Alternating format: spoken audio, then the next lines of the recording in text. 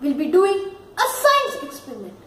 All you need for this experiment is a plate, glitter, one drop of dishwashing liquid and some water.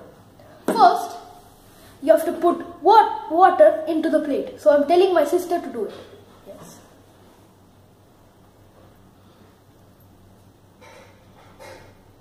Little more. Just a little more. Yes, enough. Now, once the plate is full of water, you put some glitter into the water.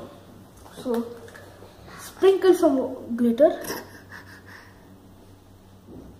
Okay. Now, once you have finished, it must some it should be something like this. It should be a circle or any other shape. Now, when you put your finger into the glitter, nothing happens. You just put nothing, right? Now, when you when I put my finger into the dishwashing liquid, liquid, I just see what happens. Did you like the experiment? Then click like. Rate, subscribe and comment. Thank you.